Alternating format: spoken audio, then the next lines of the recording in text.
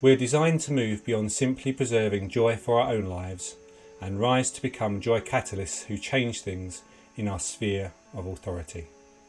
Sometimes we need to be prompted with a view that is one or two stages ahead of where we're at in order to provide perspective to our current state and to spur us on, um, allowing us to think and realise that there's more to life than maybe we thought originally. Now, this quote by Roland Worton did this for me. It provided a different perspective in terms of joy, in terms of not simply preserving it for myself, but thinking how can I be a catalyst for others? How can I influence those around me with joy, whether that's one person or a million people? Now, throughout life, um, it's really all about um, passing things on, to cultivate, to activate, to multiply. And it's no different with joy. So, how do we do this?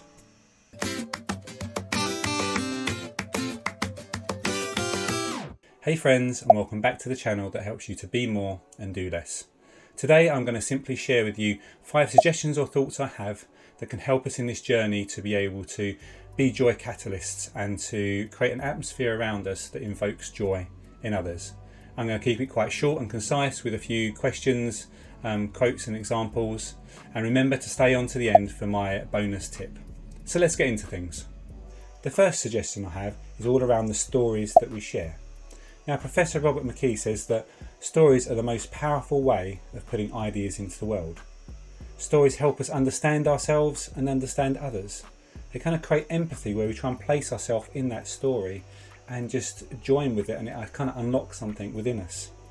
Now, when we share stories, we have this ability then to, I suppose, influence the culture around us. So, if we share stories of joy and what joy is welling up in our lives, then we have this opportunity to create an atmosphere of joy around us with the people that we connect with.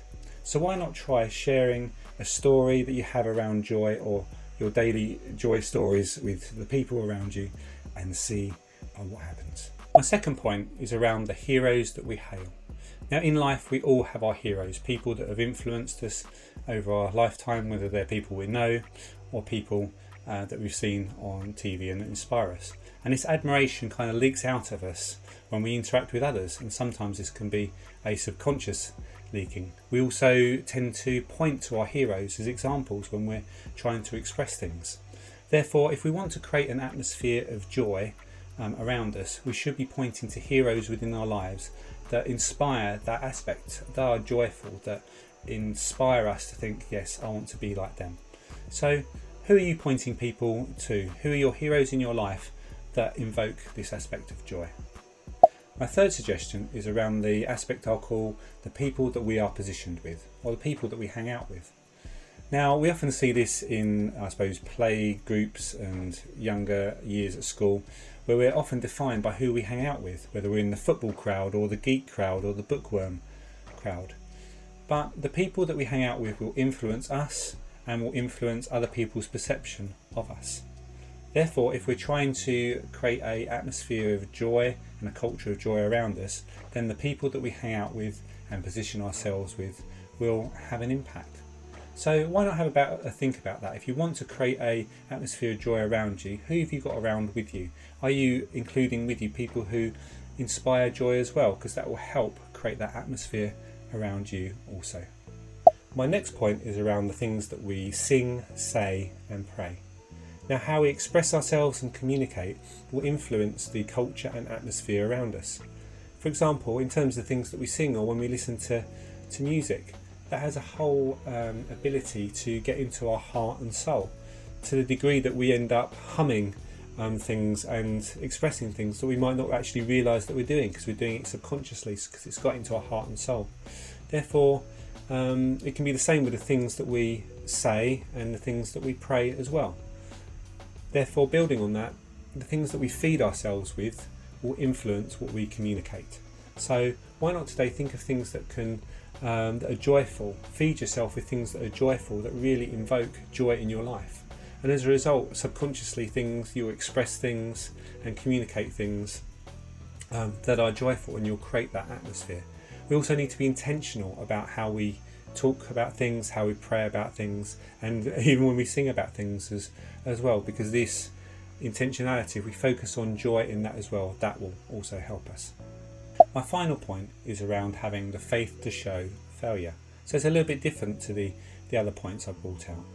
And it might seem a little bit strange, creating an atmosphere of joy by showing your failures and things that have gone wrong. Well, for me, this is all about authenticity, about showing that actually our lives aren't uninterrupted by failure or things that go wrong. They are every day, nothing's perfect. But demonstrating or returning to joy in the face of challenge, in the face of disappointment, is a powerful thing. The contrast of this and showing the reality of things really invokes joy because despite all of the things that are going on in life, we can respond and return to a state of joy.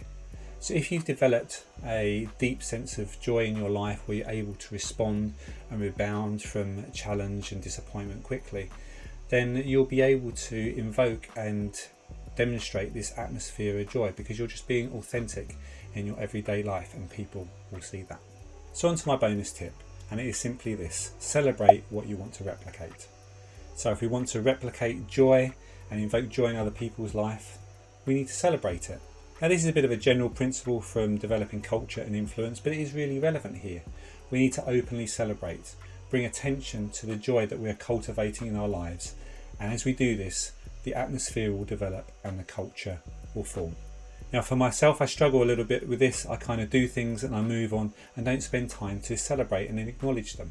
So, why not join me in trying to improve a little bit on this area and think about this area? Celebrate what you want to replicate, celebrate the joy in your life and the things that lead to joy in your life. So, if you want to create this atmosphere of joy around you that invokes joy in others, remember to share your stories to point to heroes that invoke joy. Have people around you that are joyful and express this daily. Watch the things that we say, pray, and sing, and have faith to show others around you your failings, your vulnerabilities, how you return to joy despite those. We really just touched the surface of this subject today, so why not go deeper? Which of the suggestions really stood out for you? Which one do you think actually no, I could need to make that adjustment in my life?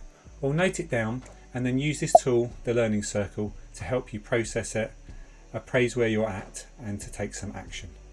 Now, if you've got some suggestions and comments around how to invoke and develop a culture of an atmosphere of joy, then I'd love to hear them. Please put them in the comment section below and I'll come back to you. So that's it for today. If you found this video helpful, then please subscribe, share, and like this video. This will get the content out to others who could benefit from it also.